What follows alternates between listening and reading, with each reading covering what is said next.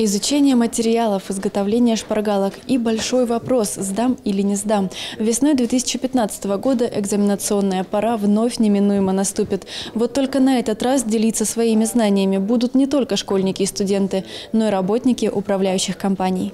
Соответствующие изменения внесены в жилищный кодекс и другие нормативные акты. Из-за нововведений часть мелких управляющих компаний останется неудел. Но по прогнозам такая судьба уготована не больше, чем 20% от всех управляющих компаний региона. 5 ноября э, мы утвердили состав лицензионной комиссии Ставропольского края и порядок осуществления ее деятельности. То есть фактически на данный момент времени э, Управление Ставропольского края по строительному жилищному надзору готово начать процедуру лицензирования деятельности по управлению многоквартирными домами.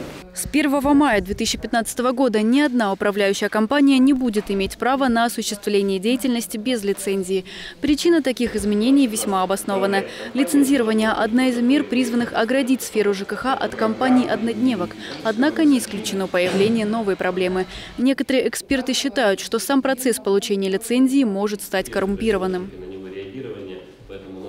За круглым столом каждый из присутствующих мог получить ответ на нужный вопрос. Самый популярный из них следующий. Кто сдает экзамен и как это влияет на получение лицензии? Тут ничего сложного. Отмечено, что количество сотрудников одной управляющей компании, желающих проверить свои знания, не ограничено. А вот лицензию получает один человек – руководитель ведомства. 10 человек могут сдать этот экзамен, и кто из них будет руководителем, мне абсолютно не важно. После лицензирования за каждой управляющей компанией будет закреплен реестр многоэтажек, которые они будут обслуживать. На сегодняшний день, согласно статистике, порядка 80% жителей края характеризуют работу ЖКХ неудовлетворительно.